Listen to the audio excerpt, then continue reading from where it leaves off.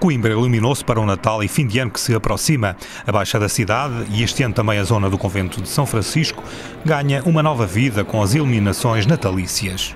Com as realizações de eventos culturais, desportivos que vão ter lugar neste período aqui até ao dia eh, de Reis, até para além do dia de Reis, a maior parte dos espetáculos dos eventos são abertos gratuitamente a todos os públicos e públicos no sentido próprio de jovens de todas as idades. Outro dia alguém referiu e eu subscrevo.